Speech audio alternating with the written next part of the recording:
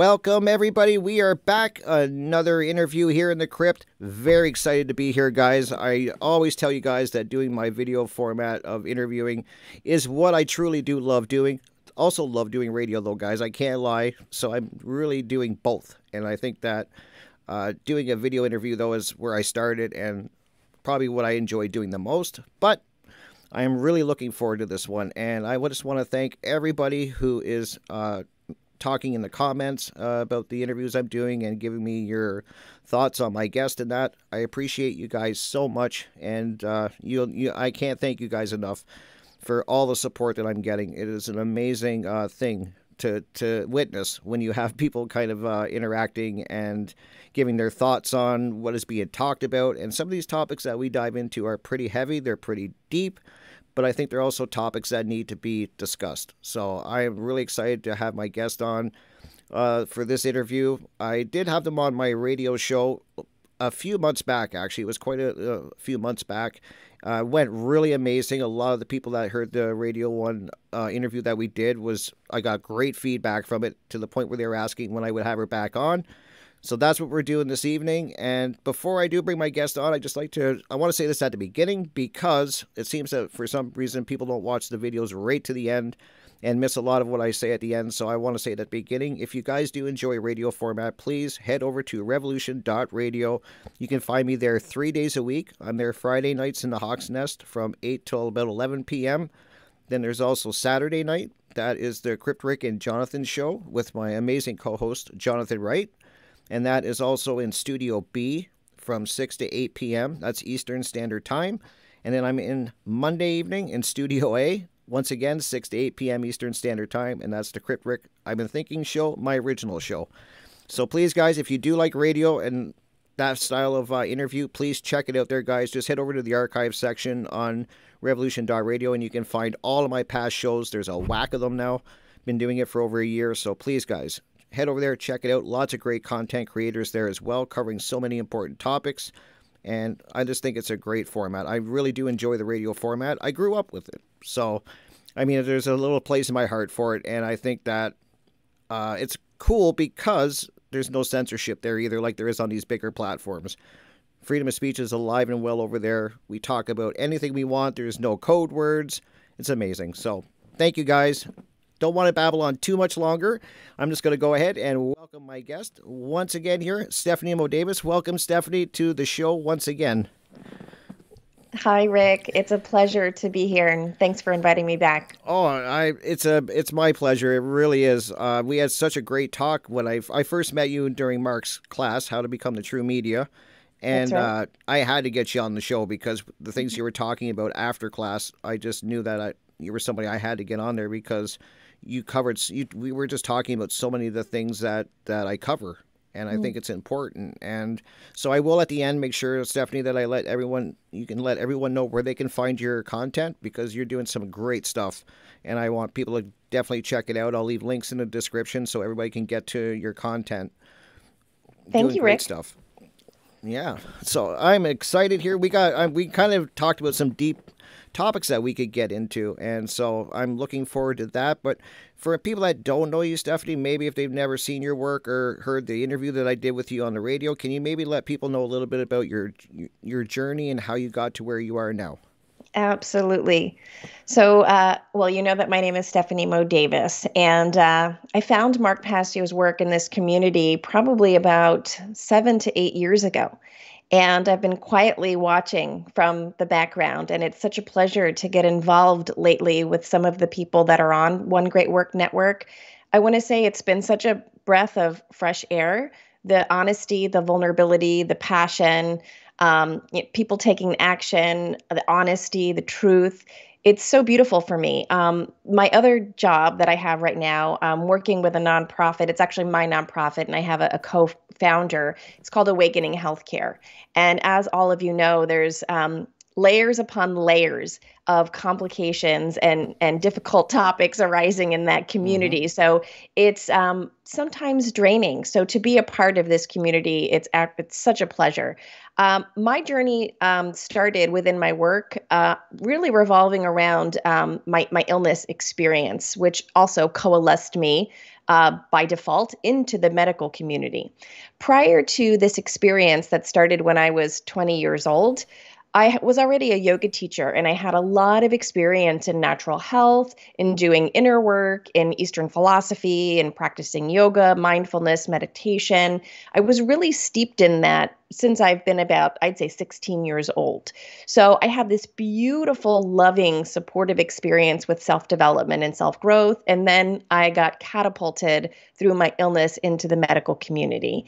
And it was just a complete dichotomy uh, of what I had been used to, as so far as more of a natural style of healing. Mm-hmm. Now, that being said, my illness became very severe very quick. So, one thing that I like to always mention is that there are times that the medical you know healthcare is absolutely necessary right. yeah. so it's important for me proceeding to develop an understanding that the medical side needs more of the holistic and the alternative and the natural and the nutrition and the inner work and the trauma work and all of these things that really profoundly changed my medical my experience with medicine. And it's something that the people that I'm connected to within my particular illness group which would be uh, kidney disease autoimmune disease and then I've had two organ transplants.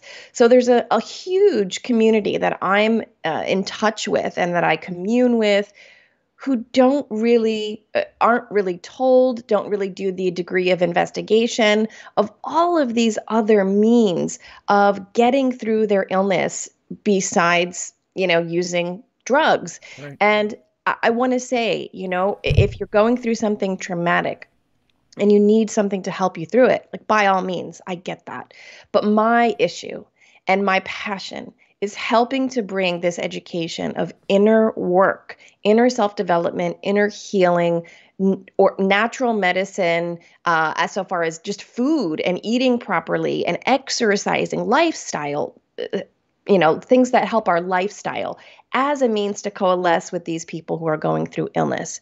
So, this really was my experience this dual world of Eastern practices. I taught yoga for 20 years. I had three yoga studios. Wow. And the, the aggregate of the patient at my studios would come in and very often say the same thing. They would say, I've got a, an issue, you know, I'm getting a divorce, uh, you know, I have cancer, or, you know, I'm in a lot of pain, I want to make a change. There was always some sort of catalyst as to why they came in the door. And then they would proceed by saying, I see a therapist, you know, I try to eat good, I do what the doctors tell me, uh, you know, and I still don't feel good. And at some point, I really started to do this scientific method on my own from my own experience and with these clients. And I started to realize, well, I'll be damn. There's such an underlying thread of they enjoy my studio and classes because what we're doing is we're sharing the inner work together. Mm-hmm. We're talking about these very deep, soulful, spiritual, traumatic experiences and working on how to recapitulate the, the beliefs that kept us stuck. And it, it just cultivated into something so beautiful and people would say to me, you know, wow, I feel like I've gotten more help from you than I have my my therapist in 5 years. And again, not to poo-poo therapists because for some people it works great and some therapists are excellent and I see now more than ever therapists, certain therapists are trying to upgrade their level of wisdom and knowledge to get more connected with with these terms like inner work. Um, so that really was the beginning of you know of my journey to get me where I am today. I have the yoga studios really really really powerful transformations with my clients and with myself just really being in this community based setting talking about the stuff that a lot of us are afraid to talk about doing the stretching doing the very deep pranayama and breath work getting the exercise, getting the breathing, talking about nutrition, and then getting that very deep, meaningful, soulful connection with people that had like minds. And what I started to realize with the illness community that I was connected with, or the, the community under the umbrella of healthcare, was that they were missing all of that. And they weren't doing nearly as good. It was like this huge 50% of the puzzle that was missing. And that's when I decided that I didn't want to merely just help the collective in my yoga studios any longer that I wanted to somehow, and I know I've been called crazy for wanting to do this, introduce these concepts that so profoundly took me from near death experiences, organ transplants. I was such a sick, sick girl between the ages of 20 and 30. And I've completely transformed my illness experience and you know not only is my my health better but the way that i got had gotten through that long term traumatic experience I, I've been able to turn it around and make something really, really beautiful out of that pain, out of that hardship. And this is what I'm trying to introduce and show is not just available for somebody that looks like they have privilege. This transformation process and inner work is available for everybody it doesn't cost much. You don't have to go anywhere special. It's something we can start in the comfort of our own home, especially if you do have an illness. So I'm trying and work slowly starting to break through into the need for inner work within people in the chronic illness community or people that have uh, you know healthcare issues so that that's kind of long long rant but no, that's, that's amazing. kind of what i do that's amazing, and I'm and thank you for sharing that because I, I, I think it's important that people hear stories like yours and and even mine to some degree. Though I don't like to talk about it too much because I I'm very I don't ever want it to to define who I am. So I I mean I will answer questions on it if people ask, and I but. Uh, I totally get what you're saying because I, when I was 16, I was get I started showing symptoms and getting chronic pain, and then it, that was followed by a year of doctors testing me. And I mean, I never had so much blood drawn out of me and was at the hospital so much getting testing. And it took them a year to pin down what I had. Mm-hmm. And I was definitely at that age, I didn't know any better. And my yeah. mom and my dad didn't know any better either. It was kind of, we were raised doctor knows best. And we kind of got thrown into the medical side of things. And I just trusted what doctors, I thought they knew best. I thought they knew what they were doing. In a lot of cases, I found it that they're they really don't uh, have this uh, aspect of healing yourself and doing it without the medical like going down the path of, of, pills i guess and these all these big pharmaceutical drugs which i was uh, you know on for a lot of years that that's kind of the route that they put me on right which led to a lot of things i mean i it, it just it wasn't working and so i'm glad that we're kind of going to be talking about the importance of doing the work on yourself because once I started doing the work on myself and dealing with things mm. is when the change happened. I at first, as I've told people in other episodes, um, I when I first got diagnosed, and I see I, I blame this a lot, Stephanie, the the way the doctors handled it too, because I had doctors telling me, you know, with your condition, and that's what I call it, guys. I'll either call it an inconvenience or a condition, but you know, for it's my disease. But from this point on, I'll probably call it my condition for just, I don't like the word disease. I think it's powerful. And so I, words have power. Mm-hmm. And um, so when I got my condition, I, I, you know, the doctors were telling me that you know maybe by the time you're 25 you could be in a wheelchair. You this is where you're going to have a tough life. You're you're going to be very limited. And when you're 16 and 17 years old and hearing that it's like your whole world implodes. Like i mean that's a at that age i think we're all really struggling. We don't know who we are and we're really trying to find ourselves. And so to get that kind of news and i wasn't spiritually mature at that age by hmm. any stretch of the word. And so i really hearing doctors say that, I don't think even some doctors realize the power of what they're saying to people. You know, I hmm. think it would have been a totally different game, Stephanie, if they would have said to me, "Listen, you know, you got a tough road ahead of you, but it's doable." I mean, you and know, let's and then I would have been so impressed if they would have said, "Let's kind of look at your diet. Look, let's look at all things." And maybe we can address it. Maybe you do need medication. I'm not, and I'm like you. I'm not saying don't take medication, don't go to a hospital. There's a need for these things. I agree but they could have handled it better. And me not knowing any better and just trusting and really taking in what they said that I could be really like in a wheelchair and that's devastating at a young age. Uh, and it hmm. became my identity for a lot of years. So mm. I get what you're saying. Rick, thank you so much um, for sharing that. I mean, 16 is so young, and I can completely relate. Same with me is even though I had this experience with Eastern medicine, is, you know, when things got serious, my family was from the, that same mindset.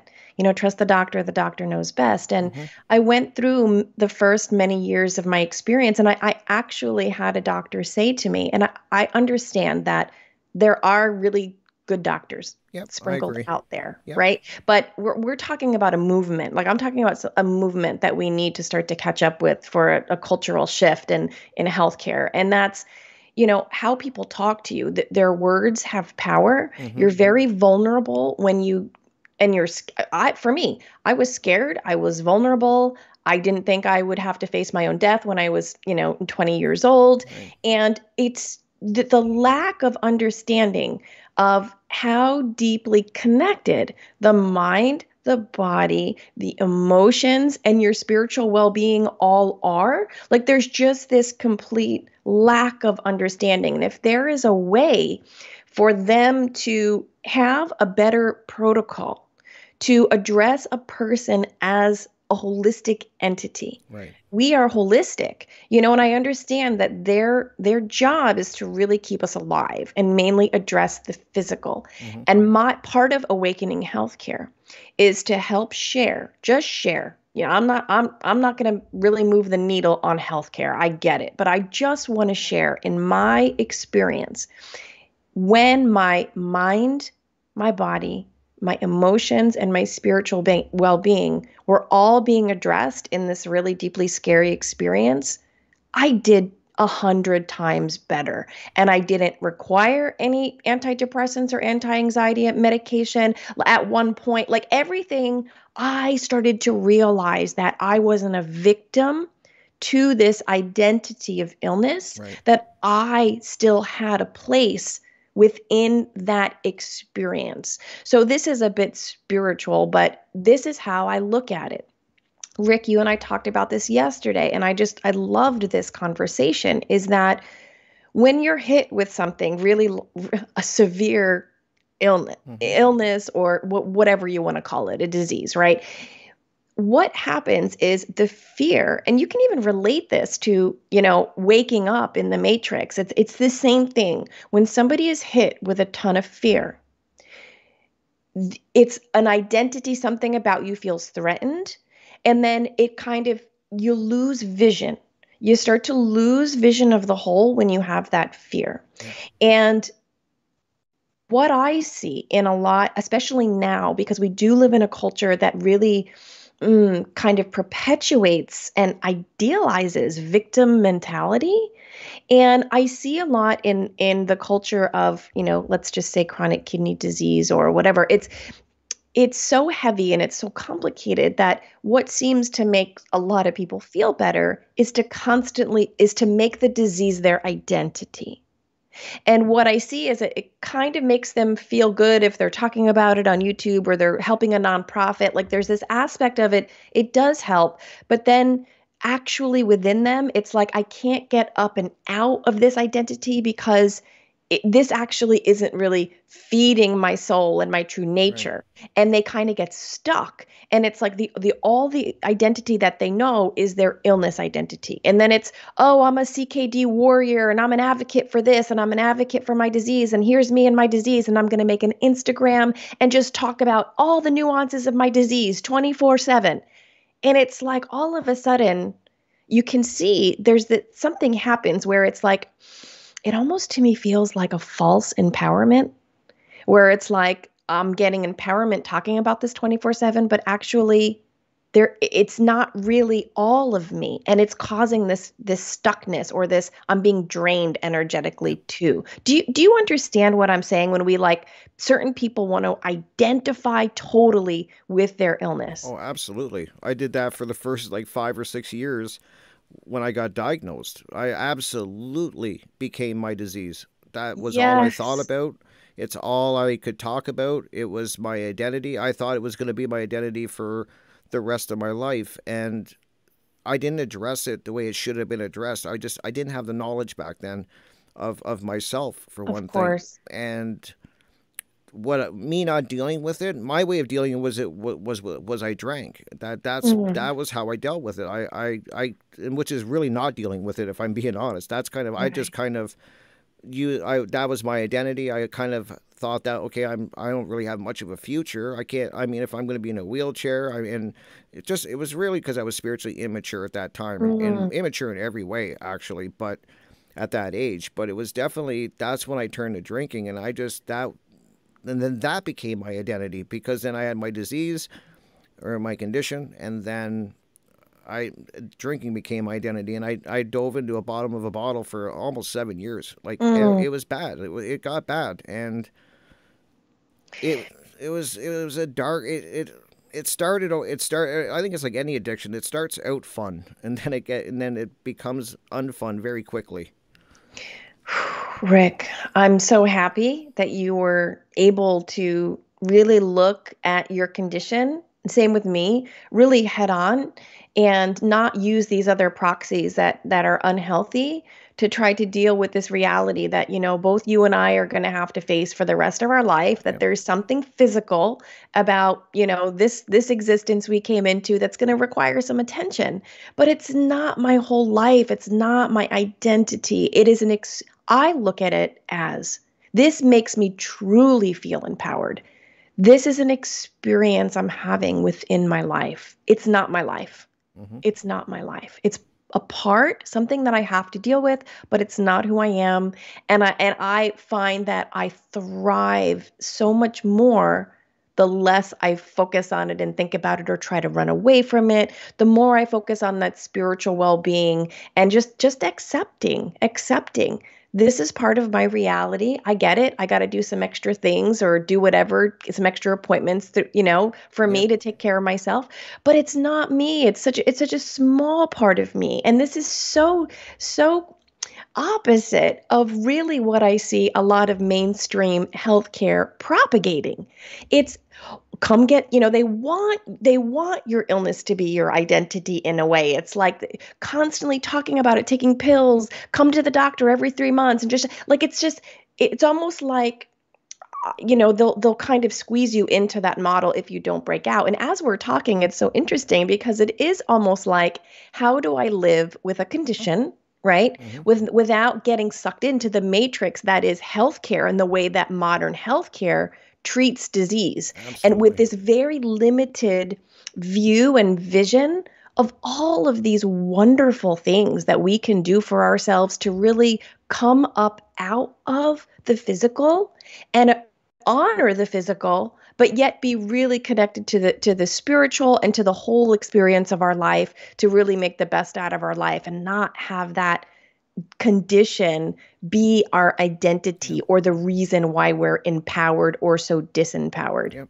absolutely. And, and what's kind of, uh, I was thinking of this before the interview, that I, I remember asking my, like, and it, this is, it, this was really interesting to me. And I, and I don't, I haven't really thought of where it fits, but I, I remember I have a few really good friends and I, and I was talking to them and, what was really cool, Stephanie, it was like I, I I've known them for years, and, and I said to them, I said like because I when I see when I look in the mirror, I, I really notice my disability, I, my disease. I, I do. It's it's part of me. I can't help it, and I'm really limited in some ways.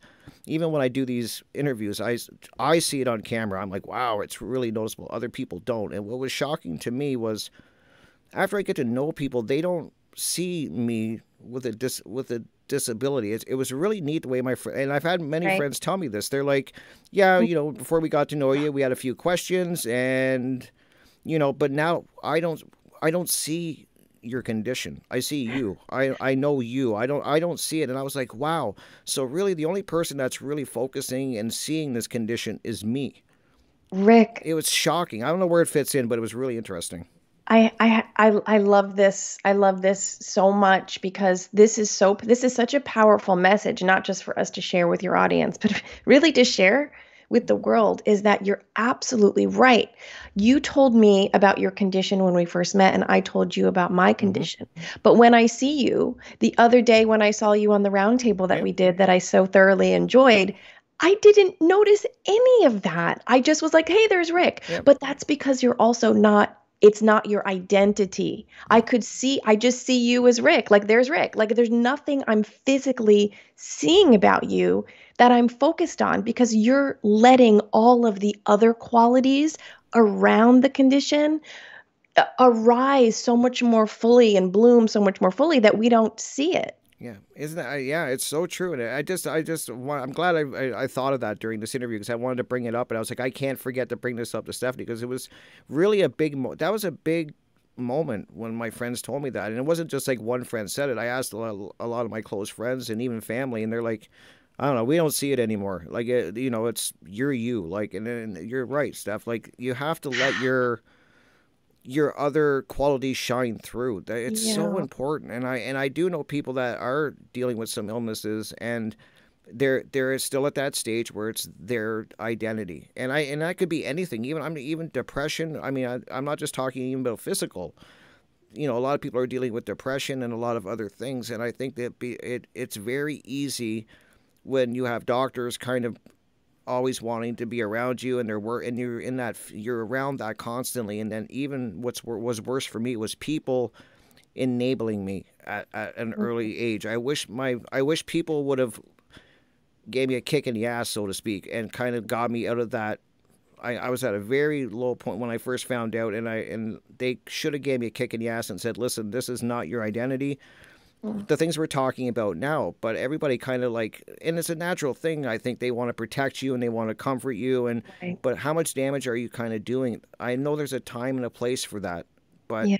When do you know when to turn it off and say, okay, now we have to move forward? And I wish people would have done that sooner with me, mm. if you know what I mean. I do, Rick. And, you know, I think that both of us are blessed that we when we did, we were able to say, hey, wait, I'm going to write my own story with my condition. And because some people don't they don't do that or like i'm seeing this now in my mind rick what you're talking about with whether you're diagnosed with anything right? It could just be like you said i don't want to say just be but it doesn't have to be a physical. Right. it could be depression anxiety whatever high blood pressure whatever it may be that's maybe weighing on you.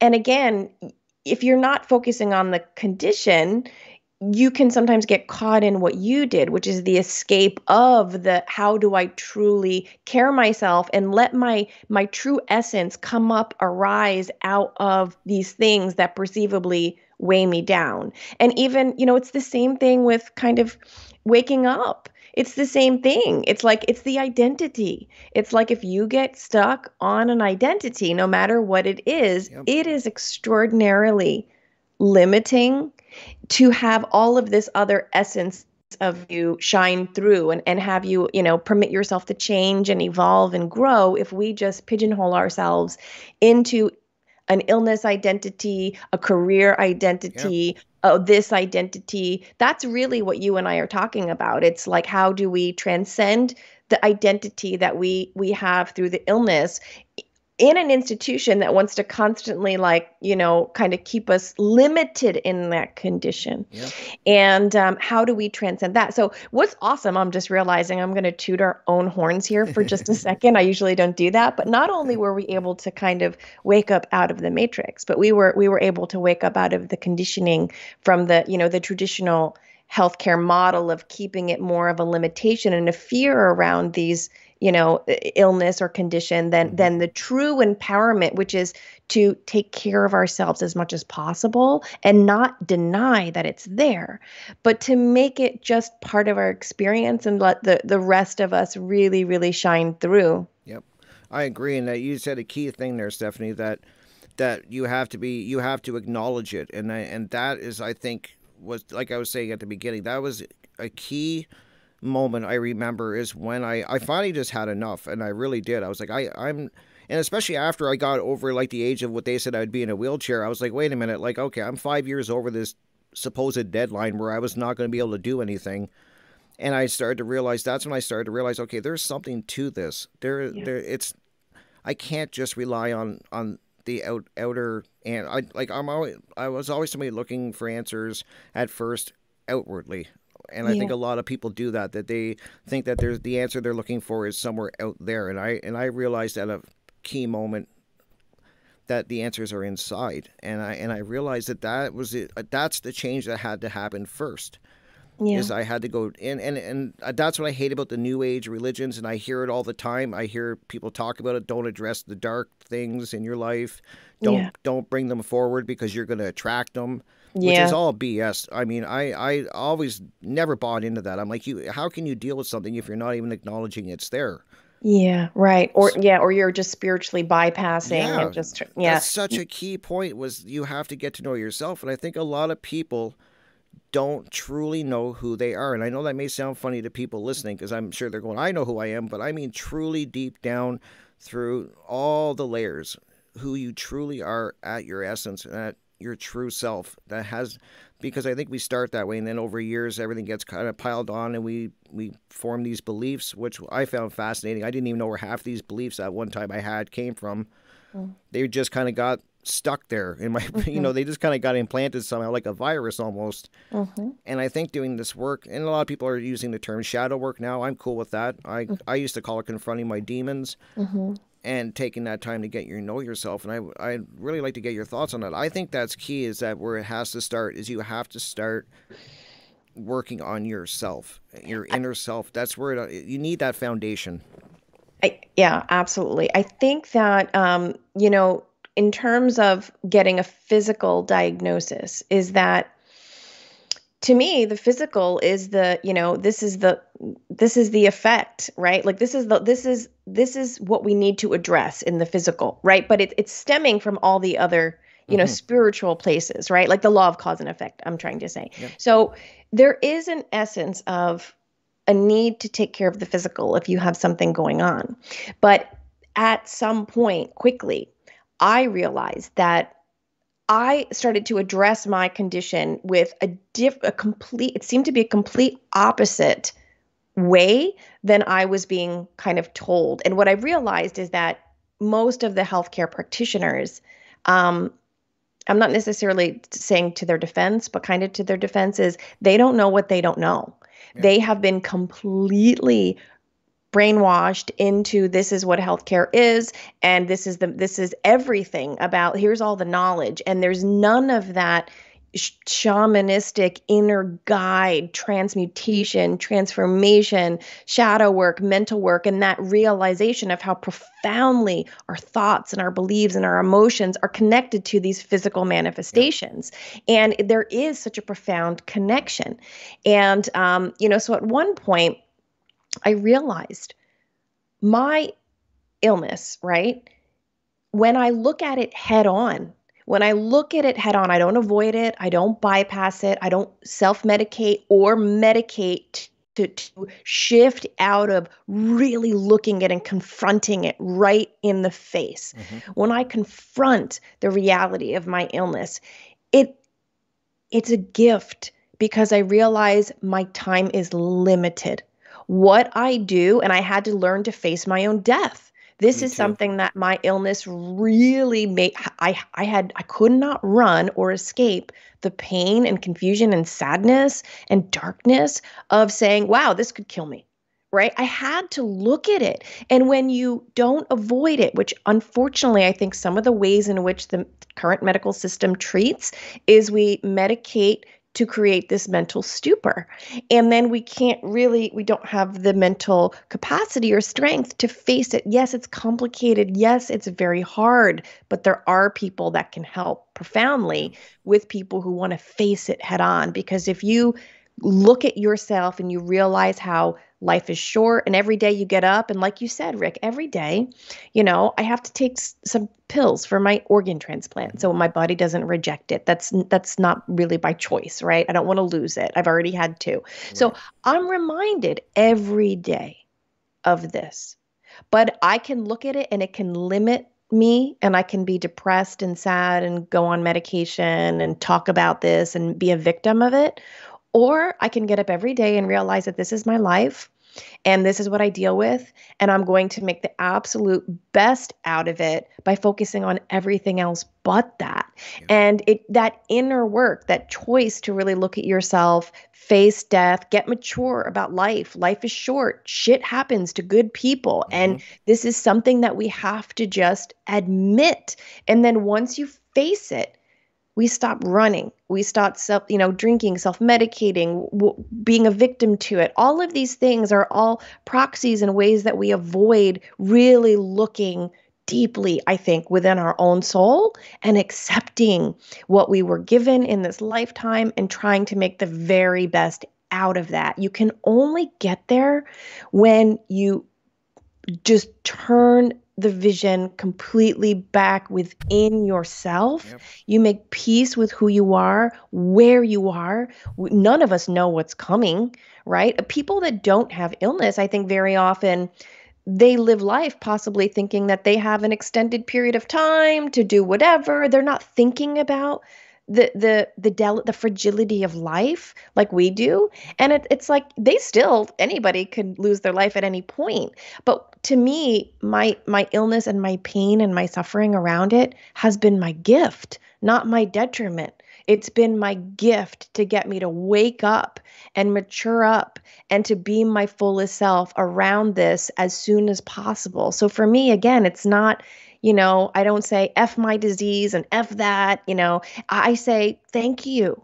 Thank you because you woke me up and I couldn't be more happy than the life I've been given with the way I show up within my soul and my spirit to be, you know, of service to to humanity. Right. So makes that that's so thank you. That that was so powerful what you're saying and it's so true that you have to look inward and and and confront and I and I noticed when I started doing the shadow work on myself that these things that in my mind were so much bigger than they really were. And, yeah. And I I mean I they become monsters yep. when you kind of ignore them and you let them grow. I, I and I would be like, wow, like and then when I started really doing, and it, there was there was definitely hard times. I mean, it, it, I yep. went through a really dark period when I started looking inward to myself because I had to get brutally honest with myself and and face some things. And yeah. and and it was like you said, you know, I realized, you know, okay, I have this condition. It's not going anywhere. It's and it, it is going to get worse over time. But how I approach it and how yeah. I uh, and how I address it and interact with it on my in my personal level, interacting with my condition is very key to the results that I'm going to manifest. And That's right it was so that was such a powerful moment and then i just want people to know that once you start it's it's work it's called shadow work for a reason it takes work and it's not a one and done you don't do it on a weekend i mean i do it try to do it every day and I would mm. love to get your thoughts on this, Stephanie, because I I think a lot of the distractions that are out there, and I'm glad you brought up even the medications because that's a topic I've been starting to really look into. Is that people are really getting medicated out there because for some reason it's become a bad thing to have emotions and then let me explain what i mean by that. Everybody wants it has it in their head that they should feel great 24-7 they should always be in a good mood. Yeah. and that's what people think it, they should be. And i'm like no we have these other emotions for a reason. They're either yeah. a warning signal. They're something that you're not addressing there's yeah. a reason for them. And i really get worried when people if they experience a, a, down day. I have days where a couple days where i'm really down and i'm having a rough go of things mm-hmm. but i'm not medicating myself for it. I, right. I have to feel it address it and work through it and then that's where it loses its power. And i just i think that people too doctors too quickly want to medicate people. And i'm not saying there's and we said this at the beginning stephanie that there is a time and a place for it. I'll always right. say that. Right. But I see a lot of people medicating for and thinking that you know having you know down days or having emotions where you don't you know you're not 100% that day you don't need to jump on medication for that is what i'm trying to say yeah. i think that we have to be very careful because these emotions are kind of our compass is what i look exactly. at exactly the the emotions are a guide uh, to me like a guidance system exactly. and you're right. I absolutely do think that we jump on giving prescribing medication too soon. I'm not talking about for like extreme high blood pressure or something. Yeah, exactly. I'm right. talking about the, you know, the benzos and all, all this stuff. It and again, there's I think that there's a medical fear of letting someone be in their darkness. I, I think they they don't they don't have this skill set. Whereas like a shaman, right? They put they're there with you through the darkness yep. and they, they can handle that it's a completely different experience and i think that there's so much fear in the modern medical system of you know whether it be just liability or you know something goes wrong if you don't that it's like we want to get them in a space where we feel like you know they're going to be okay i'm going to be okay and everything's going to be okay and that's not how shadow and inner work works it it's yeah. it's the opposite it's like getting radically uncomfortable and toeing that line of, you know, I mean, when I was doing my shadow work, and again, I still, it's something that I continuously. Me too. mon- I monitor myself. I don't really want to call it shadow work at this point, but I'm I'm I'm self-reflecting and just kind of pivoting and making sure that I'm not, you know, where I'm coming from and it's that like I'm checking not in on yourself. project. Yeah. Right. Um, but it's, you know, this work requires one to be in states of experience that um, are not comfortable. And, you know, the the modern medical system very often is how quickly can we make this person comfortable? And yes, at times if your finger's cut off and you got to sew something back, like this is a little different. There's there's nuance here that seems to be exceptionally complicated for healthcare to really sit with and and for some people some patients to sit with too it's it's but that's been the greatest reward is to sit in the discomfort. And um you know like i said it can look a little scary like you said when i first started this work. This this work was invited to me. It wasn't really a choice. It was something where i started to realize it and it was naturally emanating. There was a desire, there was a call within me. I didn't even really know what shadow work was when I started this. Right, it's just there there was this call and this this um discomfort and like you Rick, you know, at times I I tried to run away from it. And I have to be very honest is that when you run from shadow work, it doesn't always look like negative or unhealthy means that we run to, like drugs or alcohol or promiscuous like sex or like Yep. it's for me how I, how I, I actually came to this work was through an opposite was from a polar aspect. Now this is going to sound weird but hear me for a second. I was a yoga teacher for close to 15 years and I, I was a great yoga teacher and i had multiple yoga centers. And people would come to me and say we love it here. You're an amazing teacher. I can't wait for my yoga class. Oh it makes me feel so much better. Oh, I can't wait to get out of work to come here because work sucks, or I'm having problems with my partner. I just want to live here with you guys at the yoga studio. And at some reason, it took me a long time to to become privy of this rick because i was high on my own supply a little bit and i was like oh i'm so great that they love it here i'm so great that i can supply you with something that helps you to feel better that's healthy right but at some point I started to realize people were starting to say that they liked being at yoga and with those people more than their real life and the people that they were involved with in their real life. And they were using unconsciously in a healthy way yoga all the time as a means to escape from Yeah. the job that they had to quit or the difficult conversation they had to have with their partner or some other things that they needed to face. So at some point I realized, wow, you can even use something positive as a means of like avoiding that next deeper step of what you really need to face within your life. So I needed to strip everything away, all of my comfort zones. And I literally sat with myself for several months on I was in an apartment. I I just moved and I wouldn't even allow myself any furniture. It was super strange. I just had a blow up bed. I needed the space and I had to sit there with myself doing nothing no yoga, no self medicating, no going out with a friend for a glass of wine, nothing. I didn't allow myself anything that was going to get me out of the deepest aspects of what I needed to feel. And that started my process. I had to strip it all away. Now, again, there's a time and place, obviously, for these modalities that are mm-hmm. really, really beneficial. But for me personally, I had to strip away anything I was doing that made me shift my mindset away from what I needed to see. And that it was very hard. It was very hard. But once I start that information was coming up through me. Like you know, when you sit with yourself, things reveal themselves to you. Yep. And you say, "Oh, I screwed up there," or "I need to apologize to that person," "Oh, I'm not looking at this right." You it reveals itself. And I wanted to just sit with myself and feel what was coming up and face the aspects of me that weren't good, that weren't seeing things properly, that were living based off of trauma responses, that were afraid, that were ashamed, that felt guilty, all the little things I did to try to avoid my full self, but yet project myself as, oh, look at Stephanie, the most wonderful yoga teacher, and she's so great and ever. No, I'm not so great. I'm human just like everybody else. And I have some messed up stuff that I've done and ways that I have tried to escape and run from my whole self. Mm-hmm. And that's when I, I, I had to, you know, I actually took a, I stopped teaching.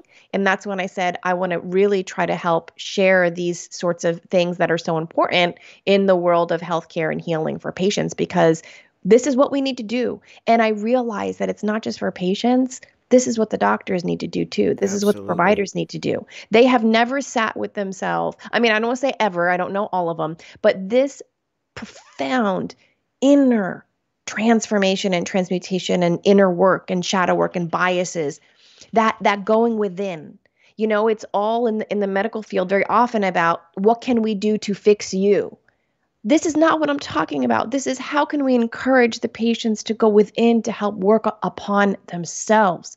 Yeah. And in fact, doctor, how can you make sure that you're not projecting your inner fears and wounds onto your patients? That's true.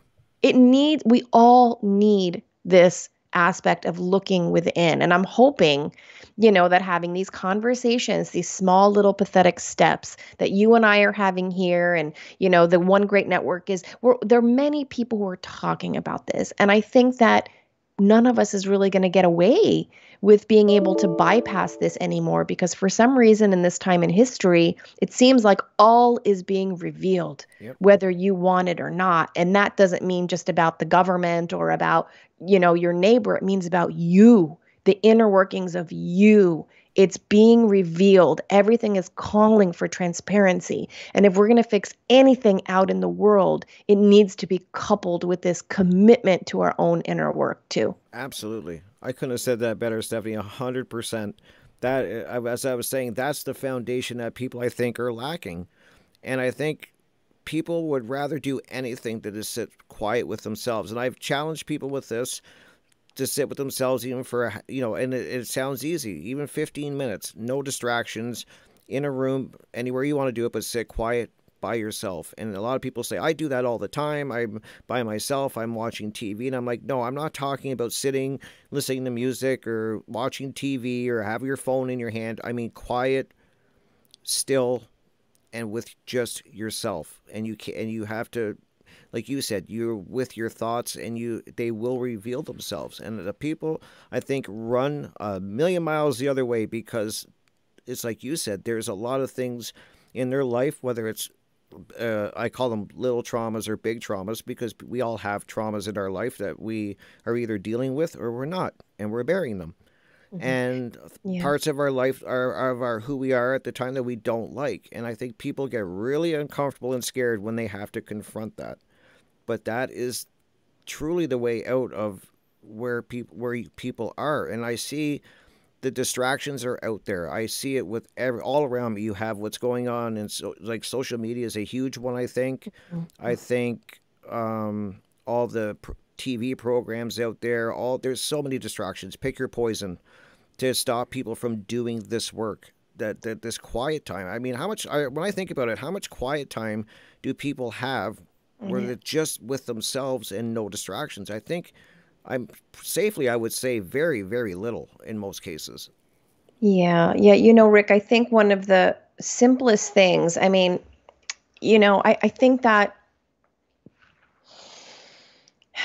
a lot of us do have elements of privilege and we don't go through the degree of suffering um, that it maybe takes to radically have you look at yourself. Mm-hmm. And one thing that I found that that I did naturally, I didn't do this based off of a like a I wasn't thinking when I did this, but as I explained to you, what I did naturally was I, I realized that I had to take away, pause my creature comforts. I had to stop doing those things um, that were, I was like um, let me think of how I want to say this.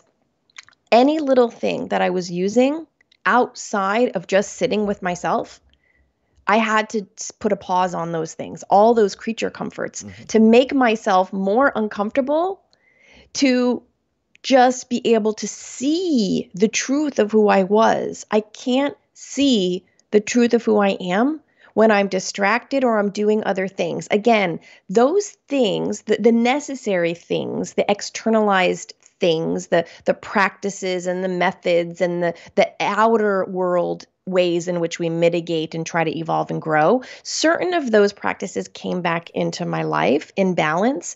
But for me to truly do the inner work, to really be able to see myself clearly, I had to take away anything that was really providing me comfort and to, to sit in a state of suffering, to sit there and to not try to run or mitigate or distract or put my attention elsewhere. I had to sit there with nothing to help me. And I remember being on that blow up bed.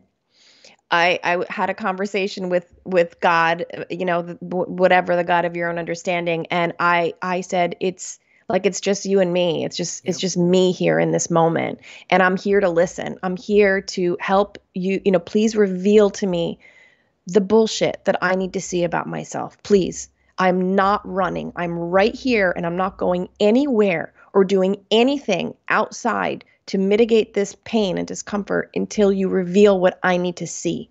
So, it, the, I mean, again, it doesn't have to be some grand program or this or that, or just take away some of your creature comforts and the way that you do things to distract from the discomfort say like like you know i need a drink tonight or i need this like no sit there and feel it feel it feel it feel it because the only way we can heal it is if we truly remove all the layers to feel it as until it until it breaks our heart open and you have you can't touch that level of feeling if you're distracting in any way. It's like I, I, keep realizing that there's so many built up layers that we all have yeah. to really feeling to the degree that it cracks us open.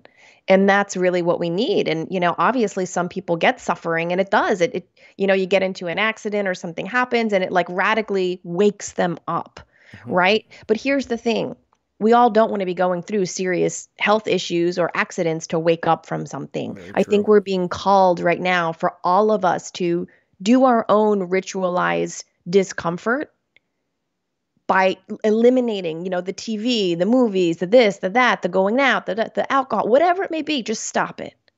Just stop it all for an extended period of time and sit alone by yourself and really let it reveal. Let the pain come up. Let it come up and let it move through you. In yoga, I always used to say emotions are your guidance system, but they're also energy and action, meaning that these feelings arise of depression or anxiety or frustration or guilt or shame or whatever. They come up. But as soon as you let it come up, the energy shifts. Yep. And then you realize that only if you're continuing to choose that emotion does it still exist in its negative state.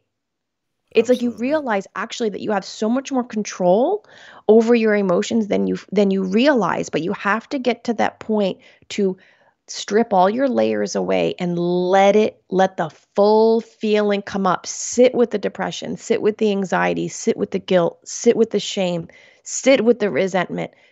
Be there like a like a, a mature divine mother would be for their parent. And hold yourself in that space letting it come up letting it come up and at some point you'll realize that if you let it come up it moves and things drastically shift yeah, absolutely. It's like you transform that negativity. It it when you confront it, at least for me, it, it transformed into a positive energy. Uh, it's hard to explain when yeah. I started to confront it, and that's when I really realized the power of what even you're saying, Stephanie, is that you have to you have to feel it. I mean, and I think that that's what a lot of people are lacking now is care, is what I see. They just they don't care about themselves truly and I mean, a lot of people may get upset when you say that. Like I say, a lot of people I believe don't even truly like themselves. and they don't care about themselves at a very deep level. And and I and I know at one time I was like that. I didn't truly love myself at one point. I didn't care. I didn't respect myself, but but just by what I was doing to myself. And and I had to get that brutally honest. Like you said, you have to strip away your comforts, and you but you also have to be willing to to do the journey and do the work. And um, like you said, it doesn't. Some people, it's a it's a like a chronic illness like you and I have, or maybe they get into an accident uh, with drug addicts and other people. You hear they hit rock bottom, mm-hmm. but I, I I I like what you're saying. Like let's try to do let's try to get the results that we're talking about without having to go and hit rock bottom or hit uh, yeah. have a serious trauma. Yeah. And that's what we're kind of talking about. And I, the work I do on myself, I try to do it every day. And I kind of like, like you said, I check in on myself. It's not so much that I have to sit now for hours a day and really, I've done that work. Right. I, so now it's more checking in. And I was telling you uh, when we were speaking yesterday that after every conversation that I have with anyone, no matter how long or how short, even after this one, I will sit and think about it in mm. detail and what was said and why it was said. And I just kind of over I analyze all my interactions with people, which I think a lot of people don't even take the time to do that. And I found great uh, reward in doing that. Yeah, yeah. It's a really powerful thing when you really like look back at stuff and reflect on it. I guess is a great word. Yeah, it's so easy to, again, not realize the the beauty in the present moment right. and to and again I, for me i'm getting information every day within my experience right. and i'm really appreciating the interactions i have whether it's with the person at the grocery store or whomever I, I everybody to me i see um, as a gift and I, I look at them all equal and i realize that every interaction that i have within this existence has some degree of importance in, in it. Absolutely. and i don't just neglect it or avoid it or just think about the negative of the interaction. I'm always trying to distill and transmute what did i learn from that? How can i grow from that? How can i become a better person by that? Like look at that simplicity of that person. I'm always trying to formulate my experience in a way where I can see the negative or I can see the positive or I can see what I need to see within that experience. And like you said, Rick, there's so many ways of just externalizing and faking like you're a good person or you have it all yep. together or your your identity. It's really about the addiction to identity. You can't do shadow work if you're not willing to change those two don't they don't yeah. go together if you're not willing to break your identity you are so attached to who you think you are in your story don't do shadow work it's not going to work. It's not going to work or you're going to get your ass kicked really. Yep. because you have it, it's the time in your life where you want to strip away the falsities and strip away the ways in which we show ourselves in the world to be this you know perfect little person or whatever. No it, it, none of that exists anymore. And when you sit with somebody who's also committed to doing the work or has done the work it's different there's no pretentiousness. You don't have to look a certain way. You don't have to act a certain way. It's just real. It's just authentic. And that is something that is so desperately lacking from society and culture today is like put away all the shit, the yeah. whatever, the makeup, the the this, the that, the look, the all the fanciness about, you know, there's we have access to everything now pretty much rick. Mm-hmm. you know we can make ourselves look a certain way through the metaverse through ai you can change. You can make yourself look however you want. But if you can't sit with yourself completely naked and i mean naked like baring your soul and saying look you know i've done some difficult i've done some bad things i've done some good things and I, I i there's a lot i don't know and i'm trying and i'm growing and i'm evolving if you can't be that person then then you're you're you're fabricating a false identity trying Absolutely. to pr- project yourself as having it all together because none of us have it all together that's so true. And like I, I always say, like the ego. You if you're gonna do the work on yourself, you have to check your ego at the door. You really do. And I think a lot of people, which is gonna be a great topic for another roundtable. I'm looking forward to is we're gonna be talking about ego, mm-hmm. because that I think a lot of people get stuck in in ego for sure. And mm-hmm. and and and as you were saying, in this identity of who they are, or they want to portray who they are, and I think we're all guilty of that to some degree. I mean, it, it's it's complicated, and, and I don't I don't think either of us are trying to say this. These are easy answers, mm. and that it's going to be simple. I, it, there's so many layers to this as you start peeling it back, and it, and that's why it becomes I call it work because you're working on this at uh, over time, and yeah. So you have I think a lot of people have, and and the great topic I'd like to ask you about because ego, I think, is also a good thing.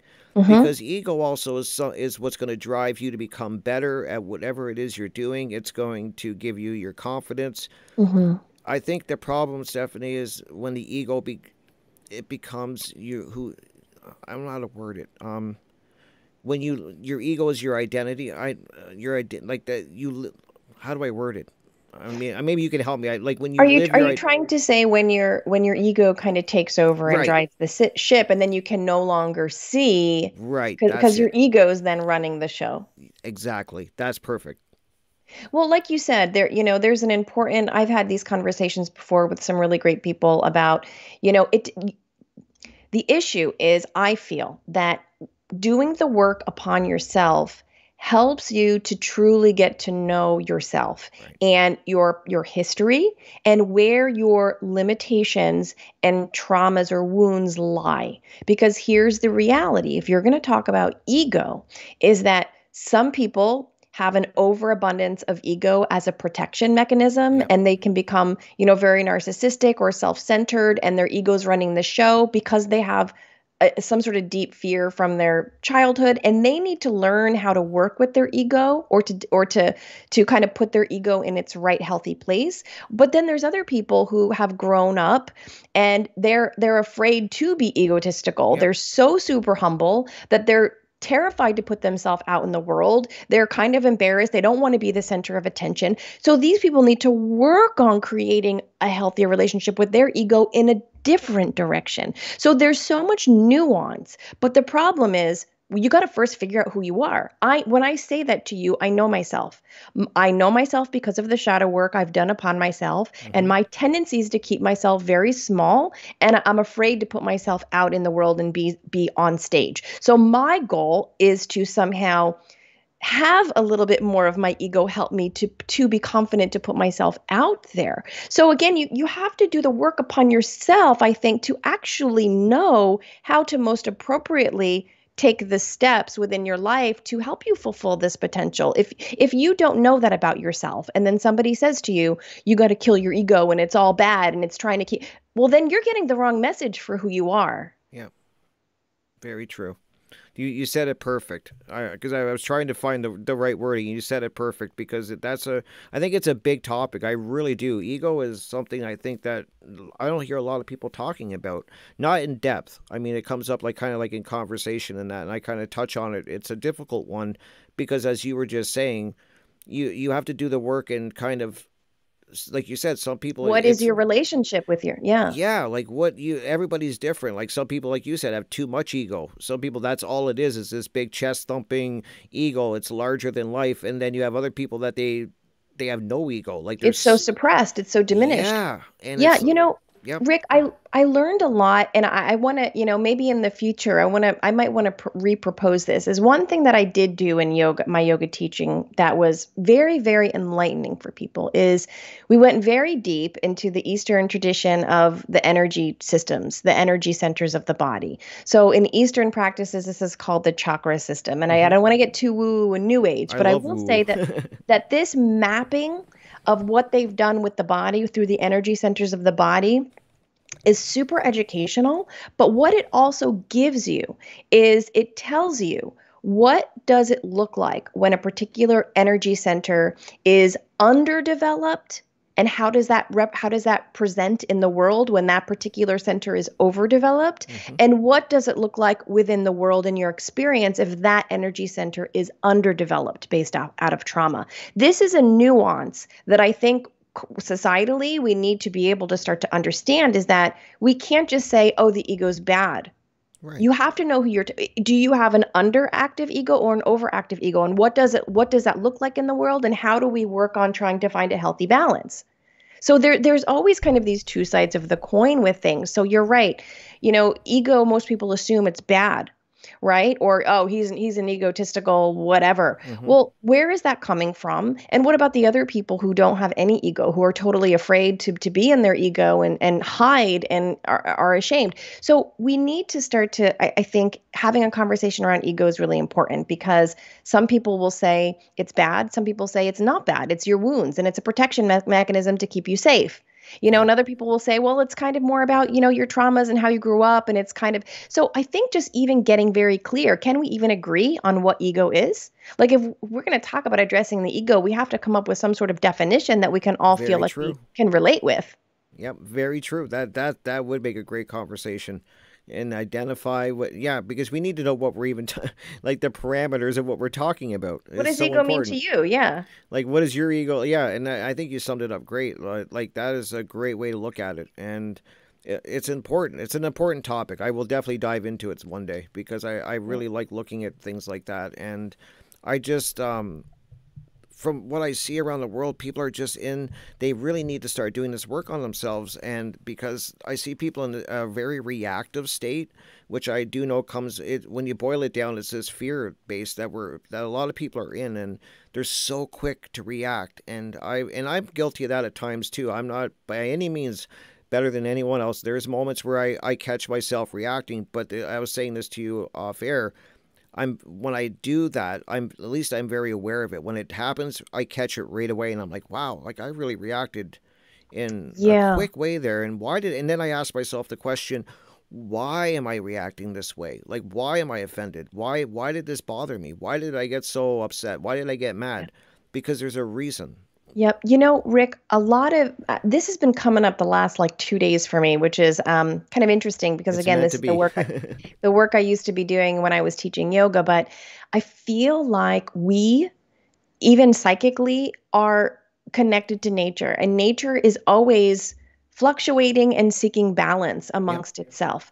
And I think that as so far as this ability to respond or react, um, yes, you know, it'd be it'd be great if we were all mature enough to just always respond perfectly in every situation. Mm-hmm. But what I'm I'm kind of learning is that overreactions sometimes are necessary when the opposing party is in a severe underreaction.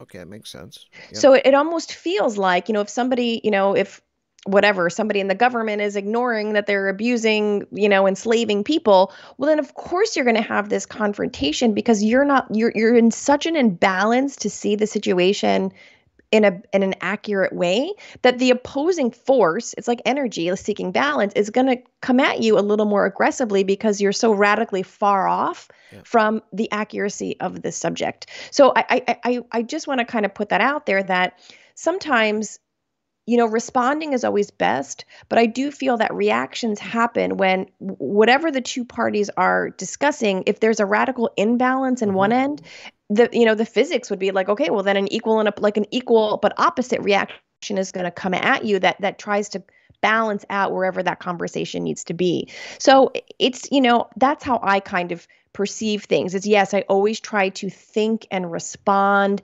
and not be in a state of anger or frustration. But sometimes being in that state of a reaction is maybe the most direct way to get to the point with with the other person you know but yeah. um it's it's tricky and everybody every circumstance is, is different with people so that's another thing it's like with one person you might be able to respond and have great communication and another person it's always reactionary yeah. you know and then you have to start asking those questions like why can't we have a conversation that's not reactionary? Are you not healthy for me? Is this not healthy? And one thing that we've propagated in the past a lot, which I think is being challenged right now, especially in regards to relationships and friendships, is that in the past, I think that we kind of proselytized that relationships are hard Mm-hmm. and that you got to overcome so many things and it's going to be hard and there's going to be a lot of frustration and yelling and and and to a degree I, I i agree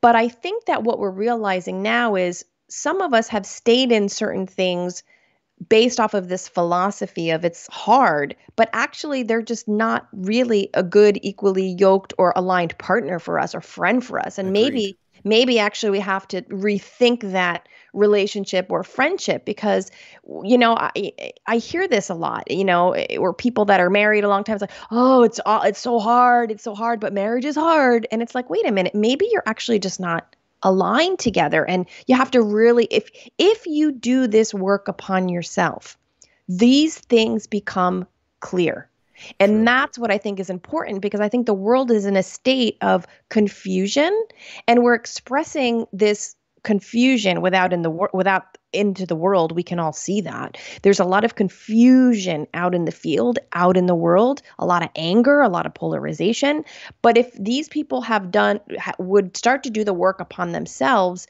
things become a lot more clear and articulated and um, you can see oh actually this is not healthy for me or oh actually i need to get another job or oh actually i need to have this conversation so doing this inner work upon yourself literally changes not just your life like your personal life but all your relationships yeah. and the things that you're choosing in your external reality change too because you now can become aligned with yourself and now you realize that you can call yourself out on your own BS when you're aligning um, with things that aren't really good for you. You can see it. And I think the problem is nowadays, a lot of people don't have that vision because they haven't done the work upon themselves to even see themselves. Agreed. Agreed. And and I'm glad we're talking about like toxic people in a way because I think a lot of people, if they haven't done the work on themselves, I think you kind of attract people around you that are kind of in the same mindset if that makes any sense like I,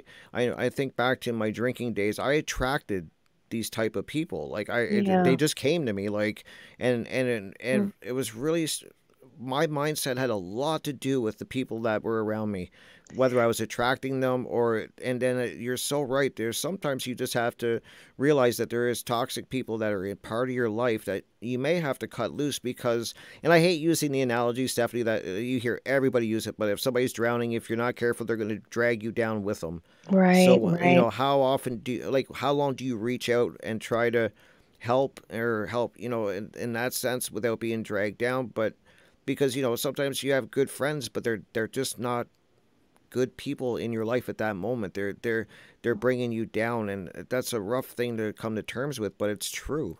That, yeah, and that's right. goes for friendships, marriages, dating. I mean, it, it it covers a broad spectrum. But then, right there, it is, Rick. If you're if you have given over your sovereignty to your identity. Mm-hmm it's it you you become paralyzed to really make those shifts within your life because you're so invested you have this whole story around your identity yep.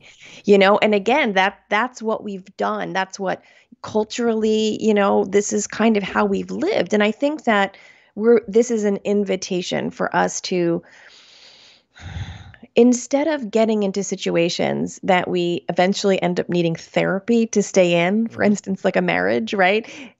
Do it different and align with yourself first so you can align with the proper people and cultivate something healthy that doesn't need to be fixed so much down the road or that you can consciously just shift out of if, if it if it needs to be. But it seems like we get ourselves in these situations and then we just find ourselves um, creating, you know, trying to cultivate a solution for this problem, and then another solution for the following problem, mm-hmm. and another external solution for this problem, and then another solution for this problem. We see this in healthcare. It's like, well, how do we keep coming up with all of these different things outside of us to fix all of these diseases? Not once have we talked about inner work. Yeah, absolutely, and, and that it keeps coming back to that, doesn't it? That this inner work that you have to do on yourself, and I think uh, people just, you know, that's why I think people, you know, they they either have you know, if there are multiple marriages, and I think of people that are always dating and going from partner to partner to partner, they're looking once again, like I said earlier, for that external solution. Yeah. And and um, until they do the work on themselves, it's going to be very tough. But like you, we were talking. I think this came up in the round table, which is interesting. That and I think it was you that brought up that once in a while two people that are really messed up kind of they kind of sync and it, it works. Like it, they're both in it's kind of like this locking key i find and then you got two yeah. people that are kind of feeding the trauma off of each other. This then become this circle of feeding each other if you know what i mean and it, so that does happen too where it's a people, comfort zone. Yeah, yeah, it's, it's a it's, it's a kind of a negative downward spiral comfort zone and um because of the identity or the belief systems or you know i know people who are you know very religious and they they're in an awful marriage but it, they're like well i'm not going to get a divorce because then i'm going to go to hell. I mean these are the things that i believe when you're when you're abandoning your soul in, in to that degree it it affects the collective. It it affects your external reality. Oh, yeah, and this yeah. is what i'm saying. I can't really see how we can try to fix all of our problems externally, you know, until we all choose to do the work upon ourselves simultaneously. I just don't think I think we live in a time where we're not going to get an external solution.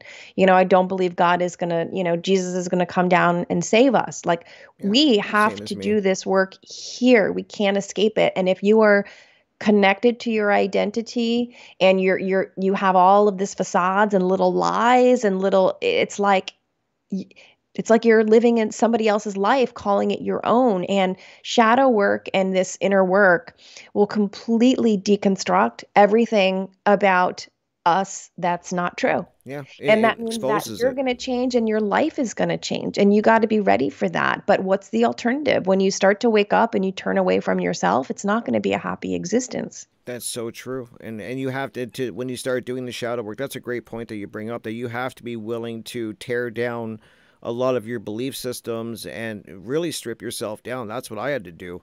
And yeah.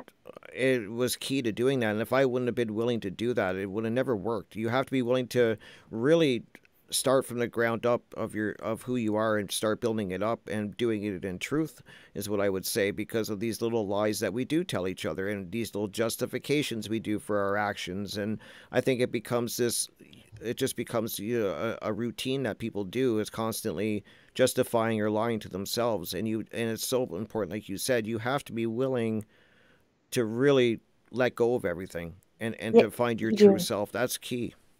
There's a quote i'm trying to pull up. i love up. when you pull up quotes. These are awesome. Yeah i have it on the bottom of my email if anybody ever emails me. Um, love is a flame that burns everything other than itself. It is the destruction of all that is false and the fulfillment of all that is true. And to me, that's what inner work was for me. It was the fire, it was the flame that layer by layer burned everything about my story that wasn't true. Mm-hmm. And it, it's just left me with me, me, I, I, it, me. You know, there, there, I, I can just sit here with anybody at any time, you know, whether I'm dressed up or not dressed up on camera or this or that or whatever. I don't care. I don't care because I know the most important side, a part of me stems from within. Absolutely. And I'm comfortable being that person. And when we live in a world where people are comfortable being authentic and being vulnerable and being honest, that's I think when we start to see change. Yeah, absolutely. And and I've been saying that for so long now that because we're talking about people that look for external answers to to kind of hear heal what's going on inside, and I've been saying like this is definitely a spiritual war that we're in. It's yeah. not you're not, we're not going to vote this away. We're not going to find an external source. It all starts within. I think that's uh, we're really I want to hammer that home, and I keep will doing that as long as I can. And even during this interview, I think this is it's so important to keep hammering that home that this is a spiritual war. It's a war with ourselves in a way to to really get to know who we are.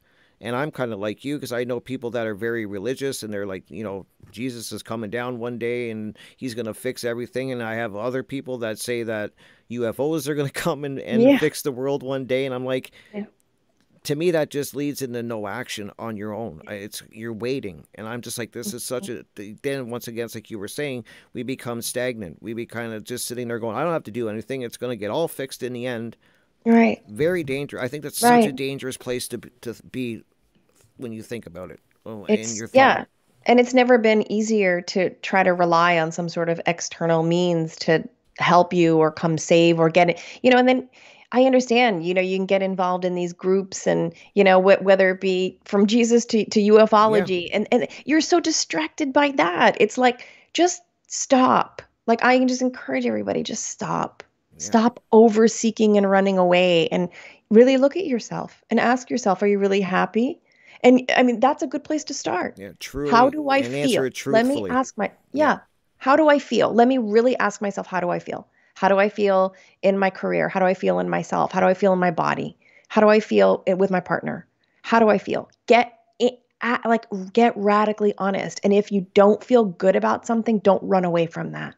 Go into it and start to clean up your life from the inside out. Yep, that's such great advice, and and I don't want to keep you too too much longer, but because like I said, Stephanie, I could talk to you for hours. I I really enjoy our conversations because I think we cover Me so too. much important things, and I hope it gets people really thinking. Um, to kind of bring it full circle, we were talking a lot about the inner work, uh, working on our on our uh, who we are inside and, and dealing with our traumas and stuff like that. Another thing to, to kind of bring it right around the circle here is that's uh, that was so important, but also what was very important for me was also taking care of myself um, in a physical sense of as mm-hmm. in uh, what I'm eating and what you know, getting rid of all of these medications. There was a lot of things that that I that also went along with doing the shadow work was changing my diet was a big one. That was huge because I look at what they call food now. When you start looking at it, is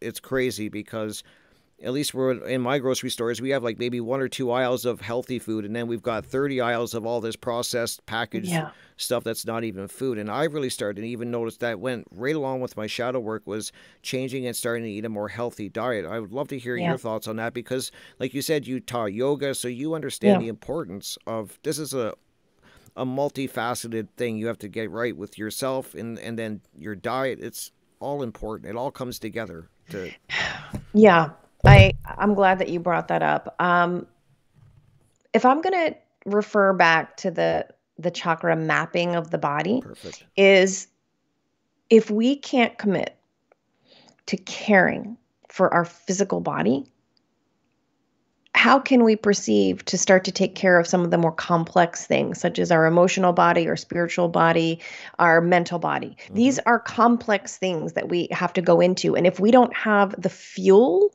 if we don't feel good, if we are, you know, really overweight or have like a lot, a lot of other things that we're not, we're eating crappy and we're eating tons of sugar, you need energy to do inner work.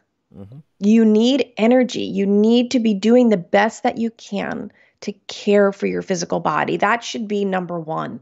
If eh, you know, I would actually, you know, doing inner work, I think would would be extra difficult for somebody who wasn't taking care of themselves because things happen with your physical body when you start doing inner work. Things start to shift and change. So you need to have at least a grant a grant a foundation of trying to care and and take care of yourself consistently. That should be number 1 actually. Yep. should be how you know are you getting a little exercise? Are you eating well? Are you dumping the sugar? Like are you doing that? That has to come first because doing this work is energetic and it's physical. It takes a lot of work to do inner work. So i totally agree with you.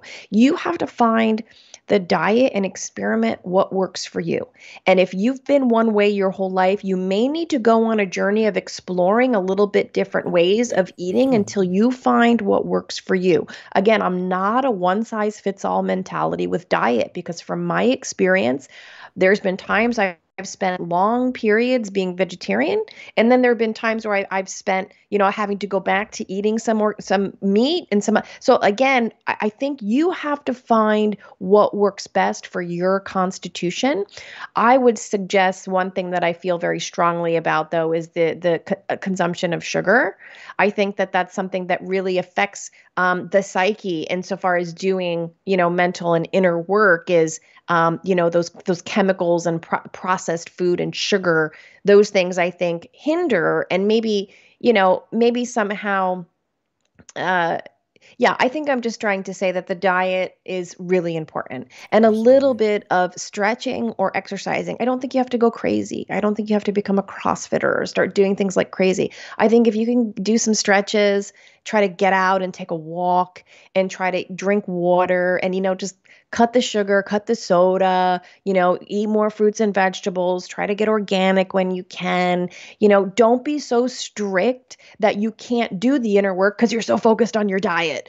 That's consuming too much of your energy then. Just do the best that you can consistently so you can start to work on some of the other layers of the self right and and for diet for me it was i love the way that you said that you should try different things because i'm i'm like you like well may your diet may not work for me at all like it may we just right. it just may not work and especially when you start adding physical conditions like you have and i have that right. also starts playing a factor so everybody's definitely unique i think in that so it's i that's why i'm not a big fan of these big diets and these fancy yeah diets. We're all different, and right. I did it slowly. Uh, that I, I also want to stress that to people. At first, I tried to radically change quickly, and that just was turned into a disaster because it, I had to do it incrementally and slowly. Like eliminate one thing and then add something and then kind of work at it slowly. I think a lot of people go at it. They're like, I'm vegan, and they just you know they go from being a meat eater to a vegan overnight, and I'm like, this is not going to work end well. yeah, yeah. like, and being being a healthy vegan is not you it's know not easy. it's not fries and pizza with no cheese like this it's if you're going to really really do it it requires a lot of dedication and again i did that in my early 20s i was vegan and it consumed so much of my time and resources and energy cooking for myself appropriately to make sure i was getting all my you know my my enzymes and my amino acids and it's like at that time in my life diet was consuming my body and my my physical health was consuming so much of my time Mm-hmm. But again, we're talking about inner work. So there has to be a balance of taking care of yourself physically, taking care of yourself emotionally, and then having that energy to start to take care of yourself and start to shift the ways that we're we're mentally addressing things. It has to be addressed holistically. You have to have this kind of mind, body, spirit thing all kind of dancing with each other. And again, if you get too focused on one area, too much energy going in one area, that's less energy that you can spend balancing the others. Yeah. So again, I, I'm a real proponent for kind of not going crazy, just find your balance so you can start to address all these things as best as you possibly can great advice great that that's what i do i i just kind of i'm trying it's a it's a very um delicate dance i think uh, and yeah. I think, and it's like you were even saying with exercise. I think then a lot of people, when it goes back to when we were talking about with ego, that becomes your identity. You see people if they're not dealing with their inner work, it's not i think a lot of people think that people just bury it with drinking or drugs or you know or you know sex whatever it could be but a lot of people yeah. also do it with i see people that are just hardcore exercise yeah that's all totally. they do like that's yeah. it it's another identity yeah or and, i'm vegan yep. my whole life is around calm reduce i think my last my last thing i'd want to suggest is for me what's helped me is to get to a place where i'm comfortable without any label whatsoever that's that's nothing. Yeah, nothing. That's tough. Nothing. Yep. No label. Just me. Yep. Not affixing on who I'm trying to project myself to be in the world. Vegan, CrossFitter, yoga teacher, doctor, lawyer, what what what you know, even even with the natural law, like that's so important. But it's still just a part of your fuller, broader experience. Very true, and that that's a that's a tough place to get to, just to be you. But I, I'm now you got me thinking about that like having no yeah like you don't you don't identify with any one thing. You're just you. Like you're i'm me and I, I i accept me. So when i again there's this fine line of distortion because when i say i'm no identity i'm not hopping on to one of the current narratives of like oh i'm gender fluid right, and right. i don't identify as a man no. I was born a woman. I'm a woman. I accept and i love the fact that i'm a woman. I, I look and i look and i see this is who i am right? Yeah. I accept and I love who I am, what I was given, the flaws I was given. And then any other label that I feel the need to constantly talk about, I go into myself and ask myself why. Like why am I why am I just focusing on this one thing right now? Like why can't I just enjoy the the broader experience while being myself?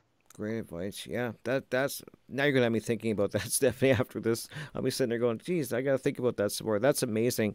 But I I, I just want to give the last couple of minutes, Stephanie. I want to also thank you so much oh. for for joining me, and I, you're always welcome to come back. I will. I definitely want to touch on some more things with you. I've already got a list in my mind of topics I would love to uh, really dive into. Ego maybe diving into that even more deeply in an, another time when you come on. If you would like to do that, I think that would be amazing.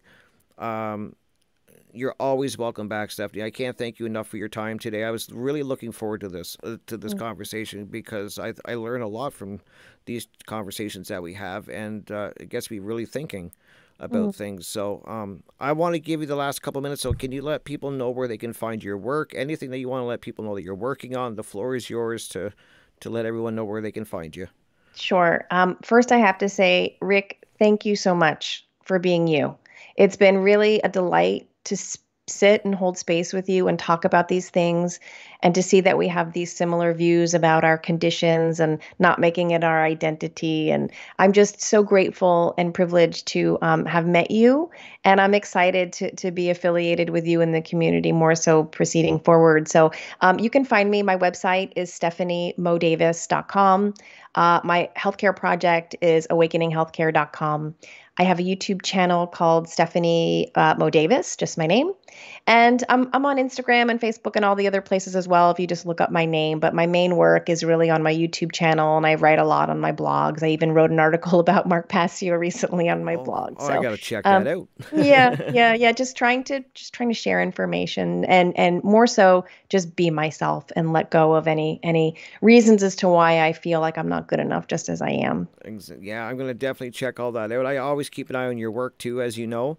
And um, don't I want to let people know too that you were just recently part of a, a round table that we did with the one Great Work Warriors, and we were getting the female perspective of what it is to be a man, which uh, mm. that should be by the time I post this, that's going to be out. So guys, please please check that out. Uh, Stephanie was on the panel along with Lisa uh, Leslie Powers, mm-hmm. and you guys brought you ladies brought in some great uh, points mm-hmm. of view and and a great discussion. It was an amazing discussion, and I learned so much just by listening to you and Leslie. And that's a tough question. I mean, and then now we're going to be tackling what does it mean to be a woman.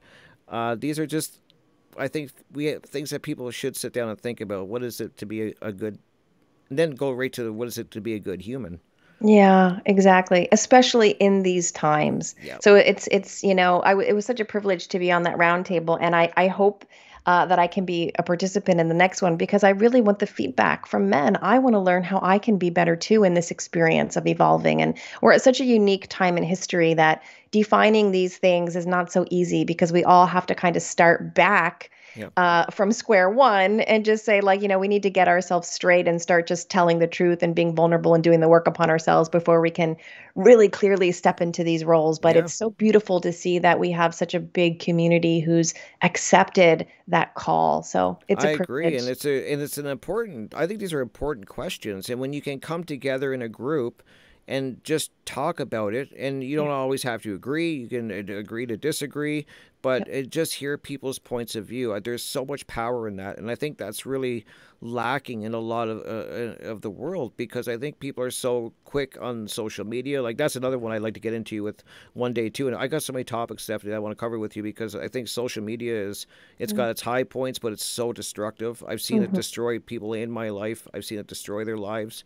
Mm-hmm. Um, and so I think that's another great topic. But it's great that we. I think it's lacking just getting together and being totally honest and and, and authentic, and just talking yeah. about these important topics and willing to listen to each other and learn. I think that's so powerful. Yeah, Rick, thank you so much for um, allowing me to just be myself. I, I've discovered that it's an important part of the process to, you know, I do have knowledge and I do have a lot of information, but for me, I feel most comfortable, especially talking to you and maybe even people in in this network, is just showing showing up and just permitting myself to be and share from that space of vulnerability. So again, thank you so much. I'll I'd like to have you on on my show too, awesome. and let's just keep the conversation going. I agree. That'd be awesome. And I and I and my one friend that passed away, he, he had a, a, YouTube channel and it was called "You Were the Greatest." And I mm. always want to end, but tell my guests, you know, Stephanie, you are the greatest. You are the greatest at being you. And oh. nobody can do it better. And my friend used to say that to everybody that he would be in contact with. And he would always say, just remember, you're the greatest at being you. And I want to tell mm. everybody that's listening that nobody can be better at being you than you. And you're mm, perfect the way you are. It's taken me a long time to just be me, Rick. So thank you. Yeah, definitely. So thank you so much, Stephanie. And uh, I will keep in contact, definitely. And we will do this again, I promise. Thank you. All right. Have a great day. You too. All right. Take care. Well, there you have it, guys. Wow. I cannot thank Stephanie enough for coming and doing this conversation and this coming on the show once again, uh, as I was saying at the beginning, I did bring her on the radio show at revolution.radio. I will try to find that episode and post it on here for you guys, the audio of it, of course.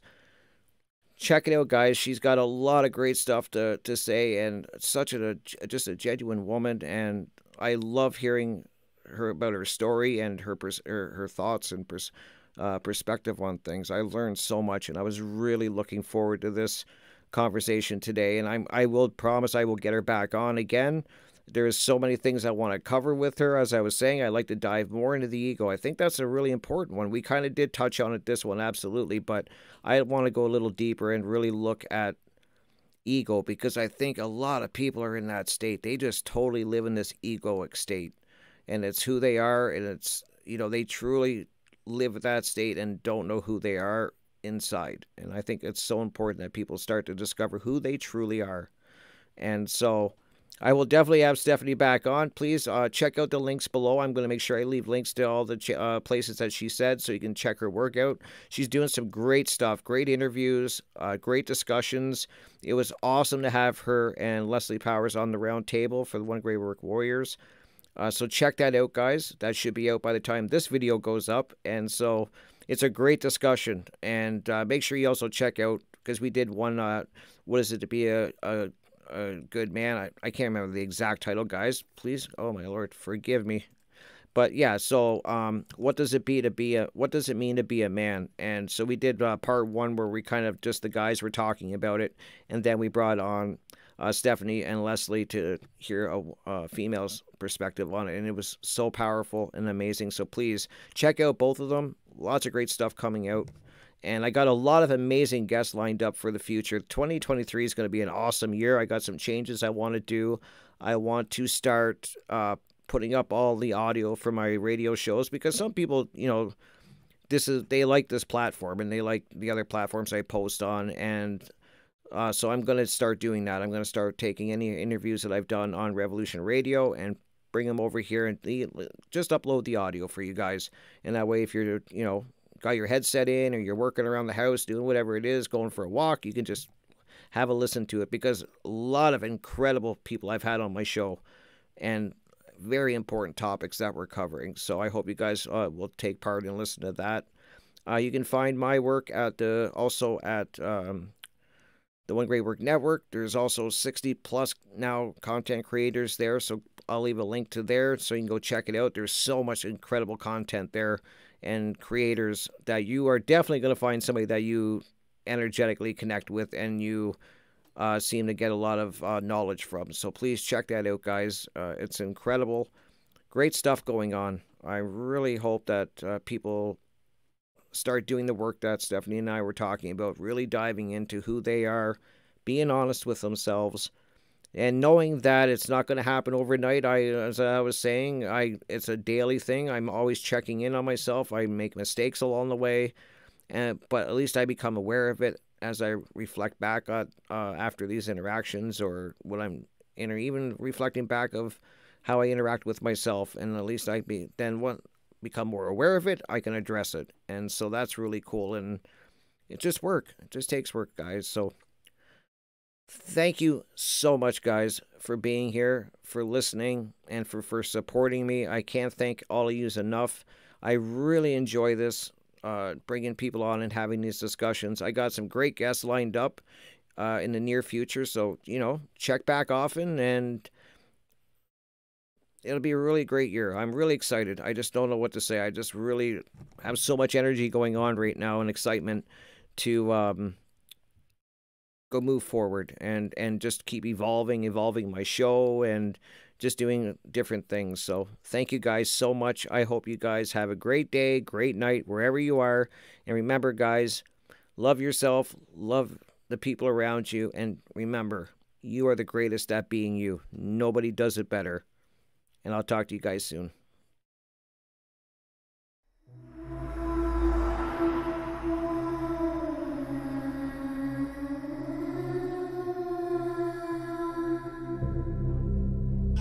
Are you interested in the paranormal? Murder mysteries, cryptocurrency, and thought provoking interviews? Then check out Crypt Rick's I've Been Thinking on YouTube. Or every Monday night at 6 p.m. Eastern Standard Time. Studio A at Revolution Radio, freedomslips.com. Welcome to the crypt.